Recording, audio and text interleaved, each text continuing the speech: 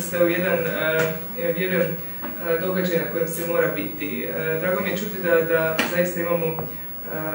drugačiji od drugih festival i samo po tome što dolazi toliko veliki broj vinara, znači da je značajan i postajemo, ajmo reći, centar u stvari za prezentaciju vina, što se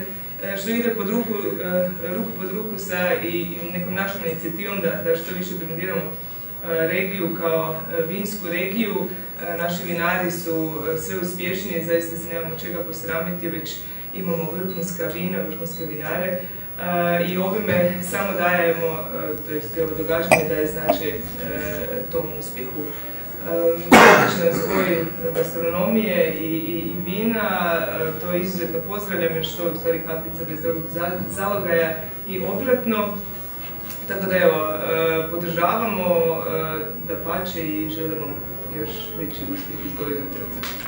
pa evo, kolegica je rekla manje više dosta toga da se ne ponavljam, dakle velika to stvari to je zaista važno za grad Zadar, što više ovakvih manifestacija koje rastu iz godinu u godinu. Naravno, zaustavila nas je malo pandemija, ali ona je čestitam ja naravno na, na, i na, na, uspjehu koji ćeš sigurno polučiti u ovom festivalu, četvrto po redu ako se. Turistička zajednica uvijek podržavala ovu manifestaciju, podržavat će u buduće, jer ovakve manifestacije zapravo plemenju pomoć na području grada Zadra